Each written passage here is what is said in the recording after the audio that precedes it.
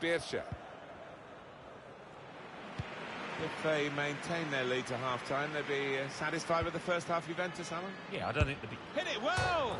He's gone for goal here from a long way out, and he's hit the target.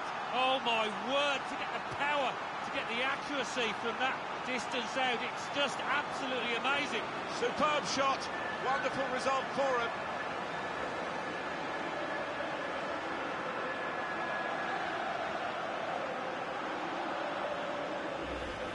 Right, to the side of the goal, and nicking off the inside of the post on its way in. On another day, that might have rebounded back into play, but not this time. Well, they want to see this again, this goal.